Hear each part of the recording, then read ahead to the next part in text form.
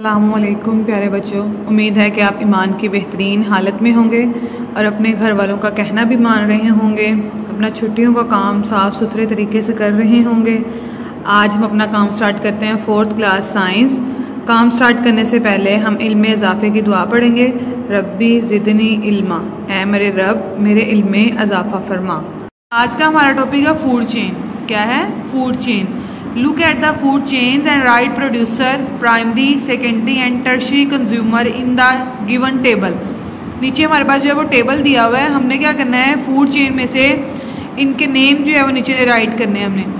कौन सा प्रोड्यूसर है? कौन सा प्राइमरी कंज्यूमर है? और कौन सा सेकेंडरी कंज्यूमर है? और टर्शरी कंज्यूमर है। फ़ूड चेन वन है। ग्रास है हमारे पास। ग्रास जो है प्रोड्यूसर है। ग्रास होपर जो है वो प्राइमरी कंज्यूमर है माउस जो है वो सेकेंडरी कंज्यूमर है ऑल जो है वो टर्शरी कंज्यूमर है। इसी तरह आपने इनको जो है वो नीचे लिख लेना है इसमें। फ़ूड चेन वन के आगे।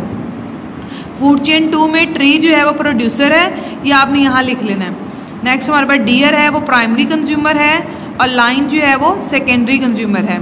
फ़ूड चेन थ्री में हमारे पास फ्लावर जो है वो प्रोड्यूसर है। कार्टी पिलर जो है प्राइमरी कंज्यूमर है। फ्रॉग जो है वो सेकेंडरी कंज्यूमर है स्नेक हमारे पास टर्शरी कंज्यूमर है और ईगल जो है वो डिकम्पोजर है। फ़ूड चेन फोर में कैरेट रैबिट फोक्स लाइन ठीक है? नंबर वन पे कैरेट है, ये हमारे पास प्रोड्यूसर है। रैबिट हमारे पास प्राइमरी कंज्यूमर है। फोक्स हमारे पास सेकेंडरी कंज्यूमर है और लाइन हमारे पास जो है वो टर्शरी कंज्यूमर है। इसी तरह आपने जो है वो लिख लेना यहाँ पे। और नेक्स्ट उन्होंने दिया हुआ है कि food chain your choice food chain क्या होती है, इसके बारे में हमने लिखना है।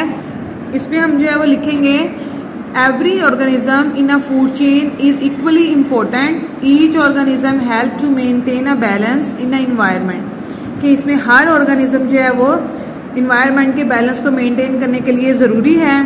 कि हम लोग इसमें लिखेंगे फ़ूड चेन और इसके अंदर आप कोई भी अपनी पसंद की फ़ूड चेन भी लिख सकते हैं। ऐसे ग्रास है ग्रास होपर है फ्रॉग है और स्नेक है। ग्रास जो है वो प्रोड्यूसर है, ग्रास ओपर प्राइमरी कंज्यूमर है फ्रॉक सेकेंडरी कंज्यूमर है, और स्नेक जो है वो टर्शरी कंज्यूमर है। इसकी इंपॉर्टेंस और इसकी फ़ूड चेन जो है वो हम यूर चॉइस में ऊपर लिखेंगे, और नीचे हम प्रोड्यूसर कौन है प्राइमरी कंज्यूमर कौन है सेकेंडरी कंज्यूमर कौन है, और टर्शरी कंज्यूमर कौन है, ये इधर लिखेंगे। ठीक है? अपना बहुत सारा ख्याल रखें, और अपना काम जो है वो साफ़ सुथरे तरीके से करें। फ़ी अमान